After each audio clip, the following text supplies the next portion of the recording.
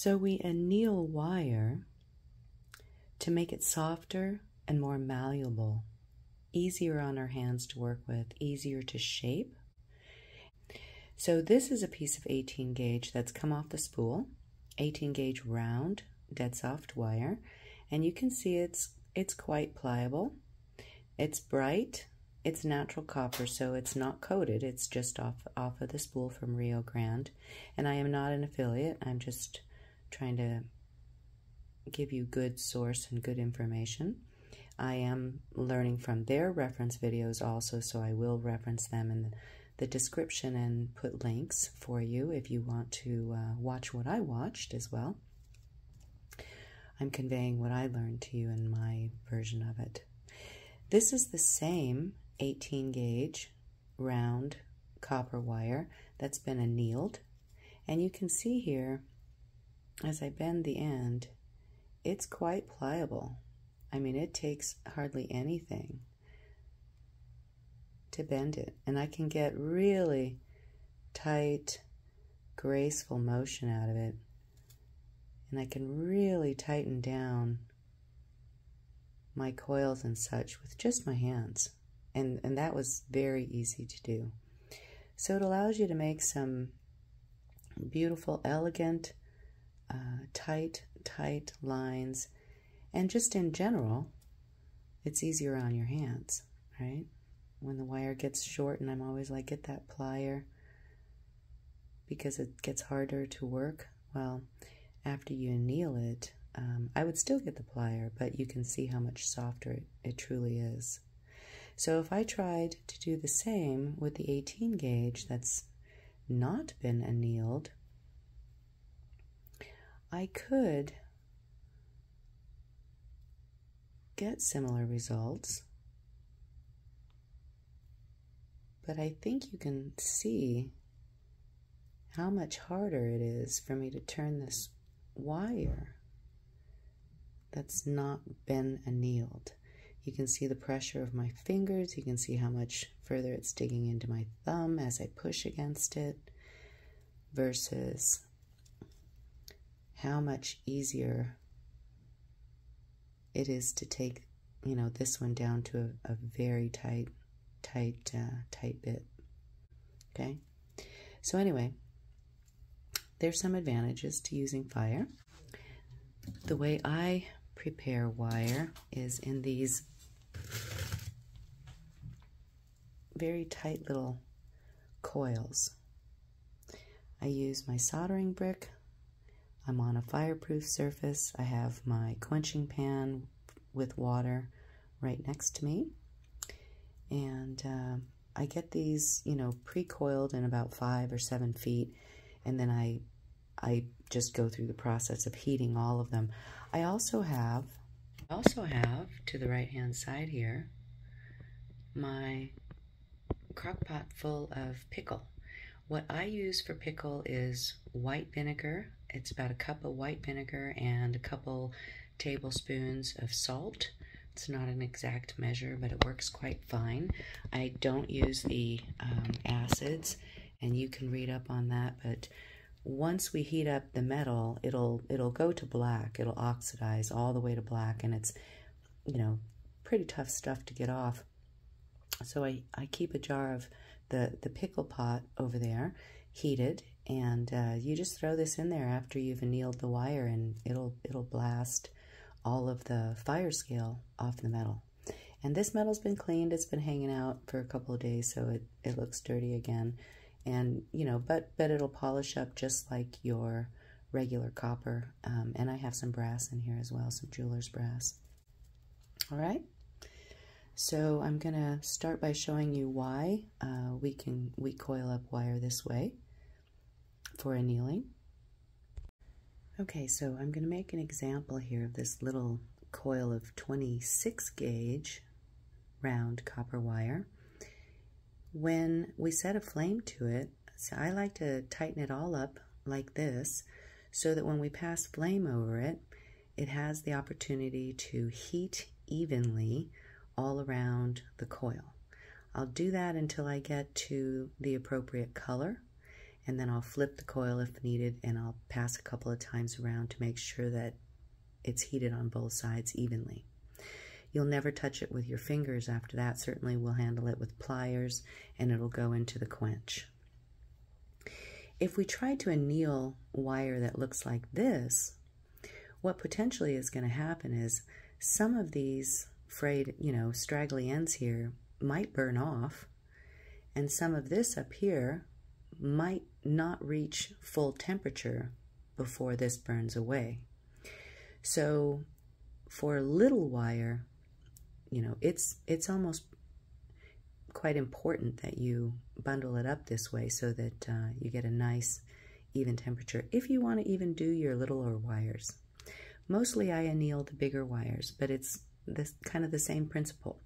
Uh, where it might not burn off 18 gauge, what might happen is that all of this out here um, may heat differently than some of, you know, the wire that is tighter tighter together. And stragglies you know would heat differently. So you'd have an uneven um, heating of this wire which means that some of it might be softer than others. Some of it might even have gone to brittle uh, whereas some of it might not have even reached annealing temperature okay so we can't check temperature with a thermometer or any anything like that. At least at least I don't.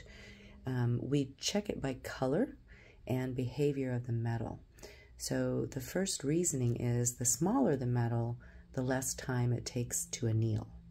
The larger the wire, the longer time it takes. It might take up to one minute.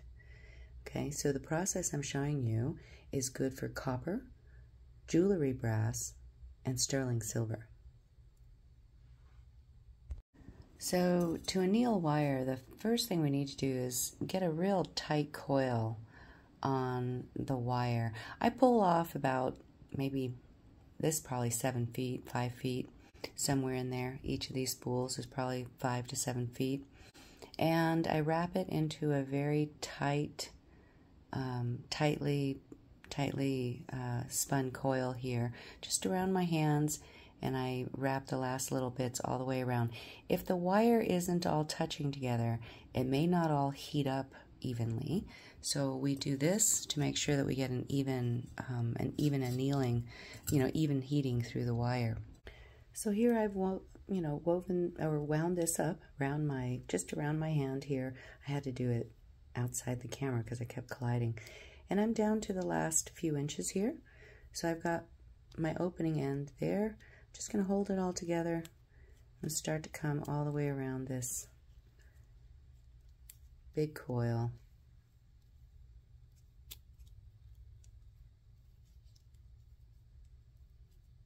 And here at the end, just do like that. And if this one is loose, just flip it like that. If this were tiny wire, I might worry about these ends burning off, but since this is 18 gauge, I'm not really concerned about those ends burning off. So this coil is nice and tight, and this is how I like to prepare my wire for annealing. Here I'm doing a spool of 20 gauge round copper.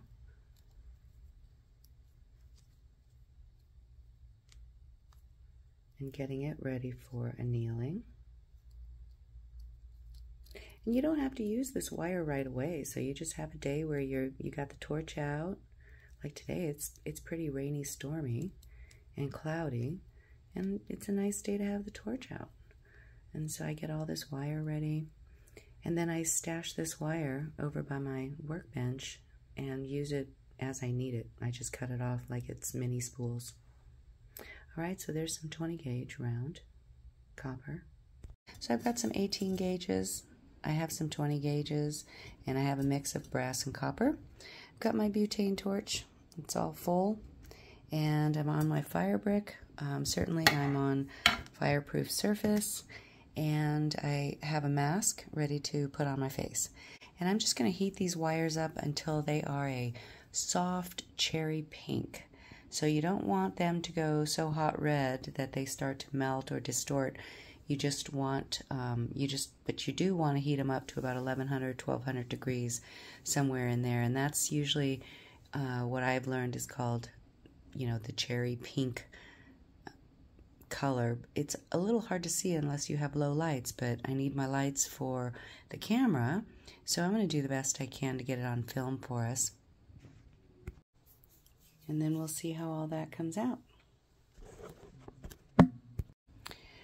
So I'm going to start my torch and then I'm going to put um, some even flame to, to these wires. And I'm going to hold the torch so that the tip of my blue flame is touching the metal. That's the hottest part of the flame. I'm just going to do one coil at a time. Start with this brass one right here. Just moving around in a circular motion, trying to heat it up evenly.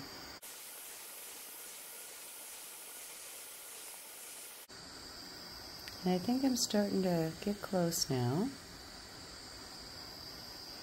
Wire's starting to go a little bit gray.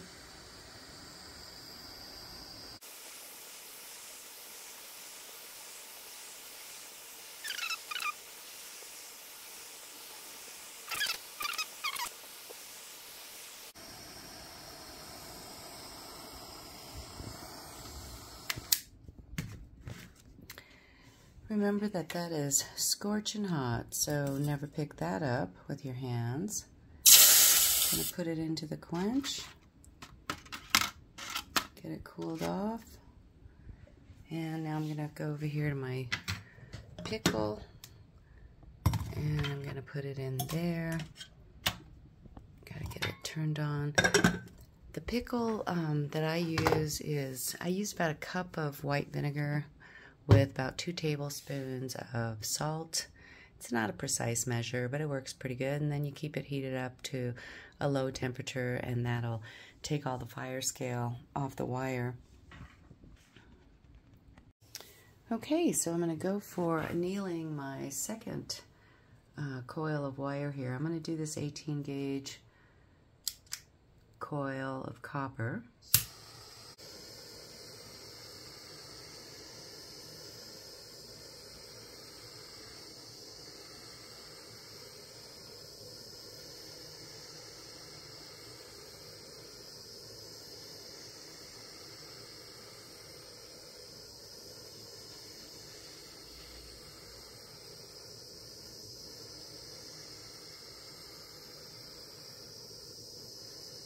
And Starting to see some color change happening.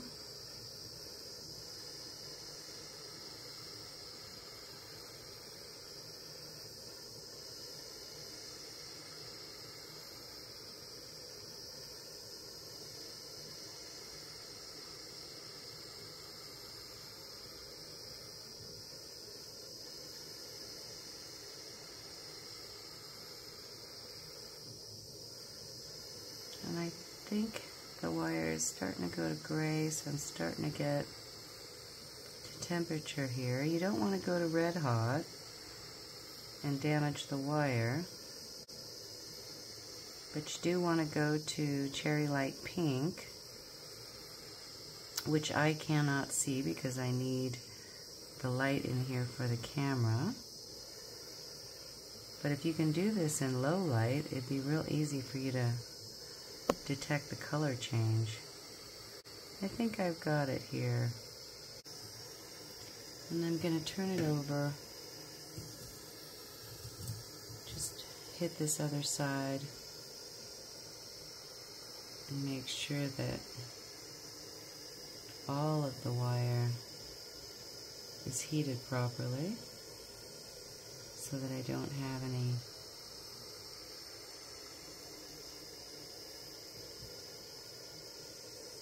pieces of it that are not annealed. Okay. So I've got coil number two. Put that into the quench. That looks pretty good. And I can already tell that it's substantially softer. All right, that's making me happy. Put that into the pickle. And I'll go ahead and do the rest of these while you're watching.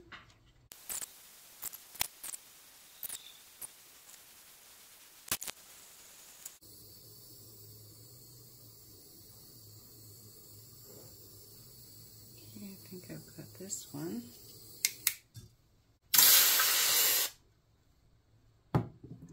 I'm going to check this brass because I don't actually feel like, yeah, that didn't really get that hot. I think that other torch was getting low. So I'm going to do it again with this one.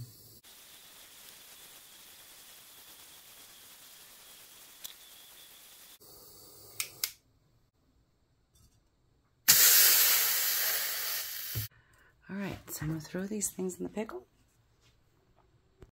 All right, so I just dropped these sticks into my pickle, and I'm actually going to pull out the wires we did previously.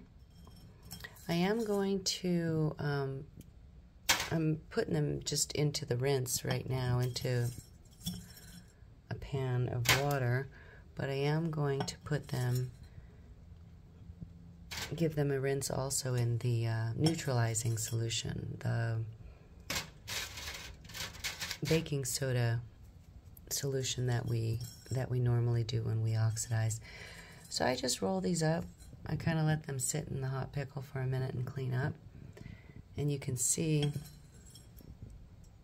the little red ends are starting to blast off. And again, that's just white vinegar and salt in a cute little tiny crock pot that I keep near my fire station here. Okay, so my coils of wire have been annealed and they are ready for me to use. And I have them, uh, you know, for several projects now in both jeweler's brass and copper in two or three different gauges here. And these turned out pretty well. So I've got these ready for use also my little balled up copper ends.